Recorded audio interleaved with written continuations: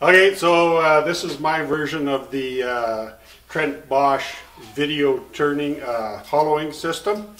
Basically uses a uh, cheap little, I guess, 20 $25 uh, web camera from Amazon and my laptop.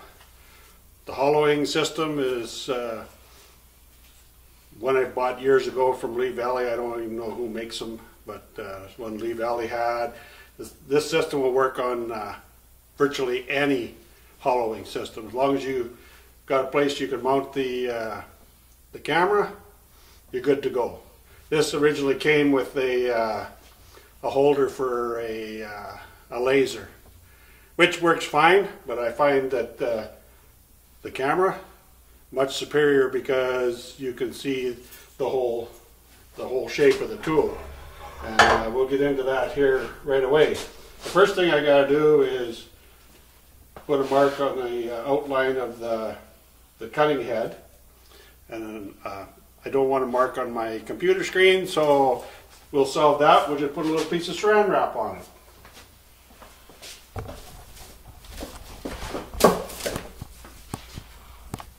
My, uh, my uh, handy dandy assistant Stu to give me a hand here. Stu, you want to move out of the way? There you go. Okay, and just take that wrinkle out of there. Try to.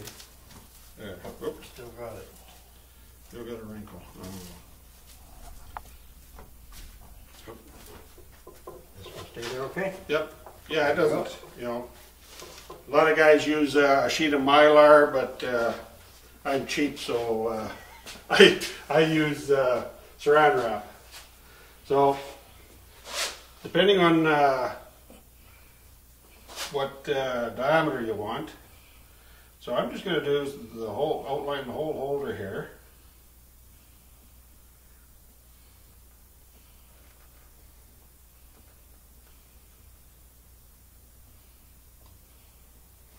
And I'll use the outside edge of the, uh, the Sharpie here. And uh, I may have got this a little bit too close, but for demonstration purposes, this will be just fine. So now you can see that I've outlined the whole cutting head and the holder as well. So what'll happen, once I put this inside, the tool will disappear, but that black mark will stay there. And as you can see, that mark follows the cutter no matter where I move it. Okay?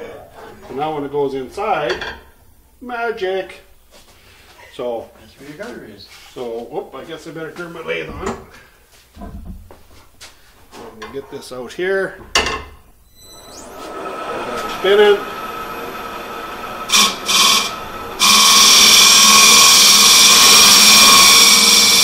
As you can see, all I have to do is uh, watch the screen and I know where I gotta take the material off. So, so as you can see, the uh, the outline follows the whole cutter, uh, and also here the uh, the tool holder as well. So you can see if you're going to rub that on, uh, you know, Yeah. you know where everything is. So then when you put it in, and it doesn't matter whether you're in here cutting on the side, like using this part of it, on, on this side, or if you go into the bottom and use, use the very tip of it, you always know where your cutter is, right? Working on the bottom here. So let's, let's fire it up and uh, Stu wants to see some tips.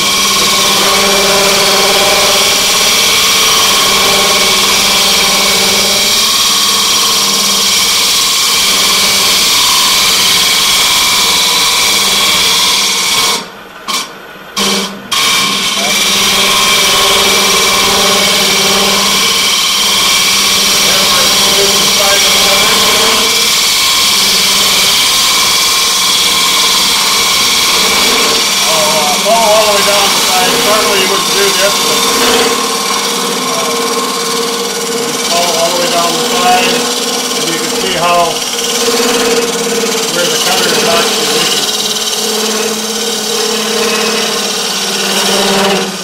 now I'm on the bottom. So as you can see I'm coming straight in. And uh, I'm using the very end of the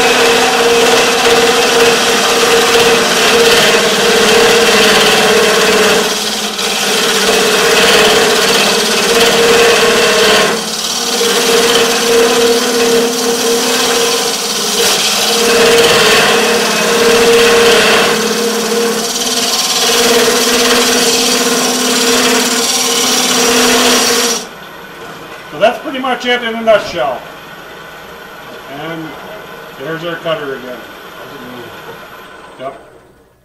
And That's depending on depending on the wall thickness you want, uh, is Where where you you put where you put the black line. Yep. Like I say, uh, I'll be use uh, I would use the outside edge of the sharpie, not the inside. So when the outside edge, you know, I'll do it on the top here so you can see. So when the outside edge, you can see there, when it's on the edge, that'll give me That's that, that that much of a wall thickness.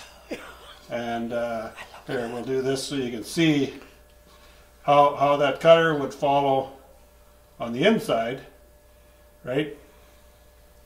And you can see how it uses, you know, probably better than a third of the cutter. With a laser, you'd have to keep changing changing your laser Yeah. to whichever part of the cutter you were planning on using. That's excellent, Mike. Fantastic. And cheap. You got a laptop, twenty bucks, and uh, you're good to go.